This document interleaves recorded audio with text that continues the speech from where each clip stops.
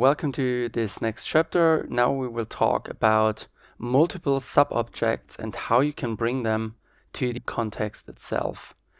So what I mean by that is we will go back to our SOP Create and here we have just a basic example. We have three grids and we will call this grid grid yeah maybe grid or maybe we can use a sphere for a better demonstration and it's a polysphere and here we have a box just the box.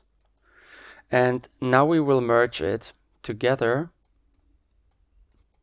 and we will place an output right underneath. So this will be our exporter to LOPS and what we see right here is we have only one mesh. So we are not able to place different materials to the box, to the sphere, which is here inside. Maybe I should move the box right here and or the sphere in that case right here.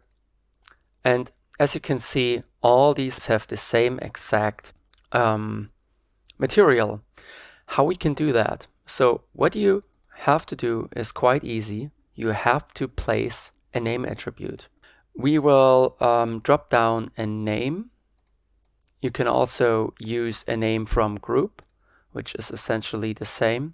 So when you have groups with a specific uh, naming, you can also use this way.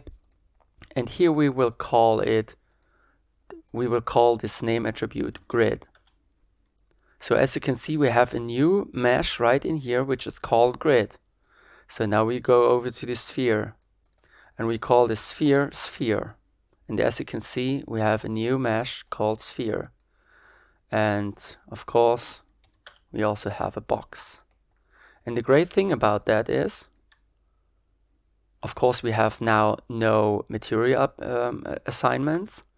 So we will hit the plus button two times more and we will delete our geometry path right here and we will drag and drop this mesh to this entry, to the, that entry, and of course to that entry. So, and all what we have to do right now is we have to use more materials. I will go back to the preset browser and we'll take maybe maybe a glass and we also want to have some metal so go back to here, copy it, and go back to stage, put it in here. So we have our free materials and we can restart the render just for better viewing. And we will choose the brushed metal and the glass material. So all of our three objects, excluding the light, maybe we should turn it off, the visibility. So all these materials have now a different uh, material assignments and maybe we should delete light. So now we have different materials. The other great thing about that is we can now use a transform to move one of those meshes. So we can drag and drop right here.